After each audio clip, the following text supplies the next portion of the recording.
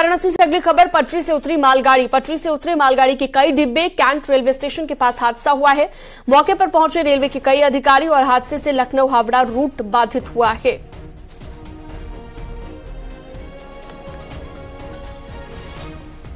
रवि पांडे, ज़्यादा जानकारी के लिए फ़ोन लाइन पर जुड़ गए हैं। रवि, कैसे ये हादसा हुआ? क्या कुछ जानकारी इस खबर पर? जी, देखिए, जो ताज़ा अपडेट वो ये है कि डीडीयू नगर की तरफ़ से यह मालगाड़ी आ रही थी और जैसे ही कैंट जंक्शन के अप यार्ड में ये पहुँची, इसके चार डिब्बे जो है वो डिरेल हो गए हैं।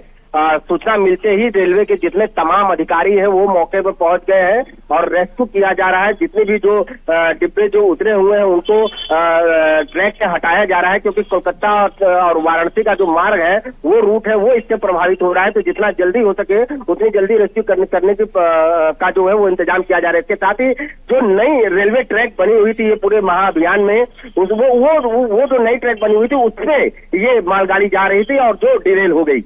तो पटरी से उतरी है मालगाड़ी ये तस्वीर भी आपको हम दिखा रहे हैं। बहुत शुक्रिया तमाम जानकारी के लिए आपका रवि पांडे। तो एक्सक्लूसिव तस्वीर आपको हम दिखा रहे हैं। हाँ पटरी से उतरी मालगाड़ी वाराणसी में ये हादसा देखने को मिला के हालाँकि आपको जानकारी ये भी दे दे कि अब मौके पर रेलवे विभाग भी पहुँच गया पुलिस भी पहुँची है। और पटरी से मालगाड़ी के डिब्बे कैसे उतरे क्या वजह इसके पीछे रही? इन तमाम पहलुओं पर जाँच की जा रही है। क्या कर रहे हो आप? निगेटिव रिपोर्ट कर रहे हो?